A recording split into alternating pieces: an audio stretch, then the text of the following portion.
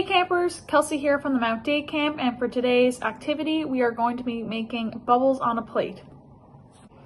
So all the supplies we are going to need for this activity is a plate, a straw, a cup of water to pour on our plate, and some dish soap.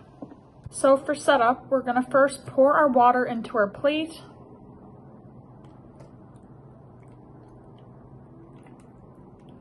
And then we're going to add one to two drops of our dish soap.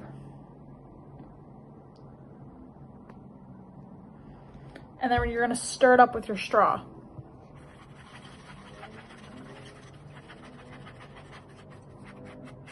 So keep stirring until some bubbles like this start to form.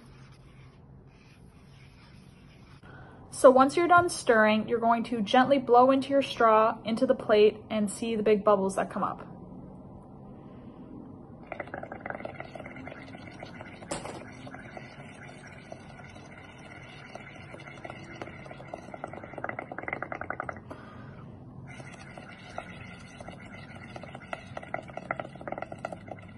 So if you want to make this into a game, grab a family member or a friend and get two separate plates and then see who can make the biggest bubble.